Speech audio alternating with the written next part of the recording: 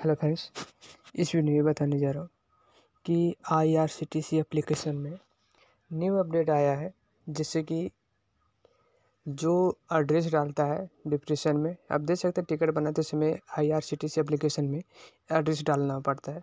वो कहाँ का एड्रेस डालना चाहिए? जैसे कि मैं दिल्ली से सूरत का बनाता हूँ तो सूरत का एड्रेस डालना चाहिए या दिल्ली का?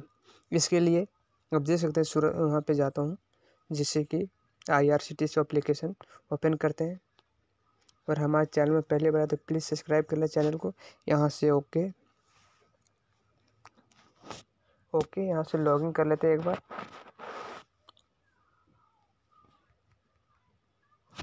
और यहाँ से कैप चाहे पर छोटा ले लेता हूँ, जैसे कि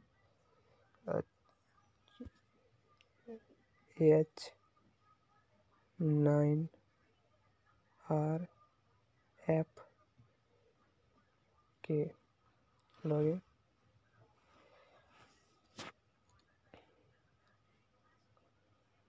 अब देख सकते हैं, ऐसा इंटरफेस आ चुका है। तो मैं एक कोई भी एक ट्रेन सेलेक्ट कर लेते हैं। जैसे कि यही ट्रेन है, सूरत मुजफ्फरपुर सिलेक्ट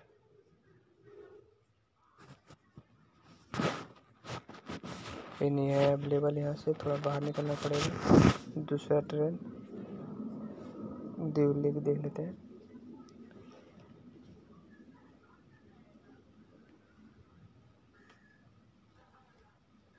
आप देख सकते हैं यहाँ पे सूरत टू दिल्ली का है ये। तो मैं एक स्लीपर क्लास ले लिया और यहाँ से passenger detail. I agree. Confirm. आप देख सकते हैं यहाँ पे एस एंड पे आ चुका है। अब नीचे यहाँ पे एड्रेस डालना है। ठीक है। यहाँ पे एड्रेस कहाँ का डालना चाहिए? मैं सूरत में हूँ और दिल्ली जाना है। तो यहाँ पे पिन कोड डालता हूँ, जैसे कि उनचालीस, पाँच सौ, दस। ये आ चुका है। ऐसा आ गया, ठीक है। अब मैं दूसरा डाल के देखता हूँ। इक्यासी, अठारह। पर यहाँ पे कहीं के भी ले ले रहा है।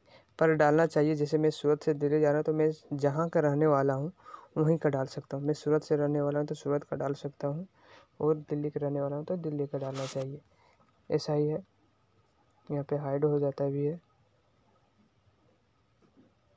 हाइड हो गया ये यहाँ पे सॉरी ऐसा है। ऐसे कर सकते हो। लेकिन जहाँ से आप सफ़र शुरू किए वहाँ का डालना ज़रूरी है।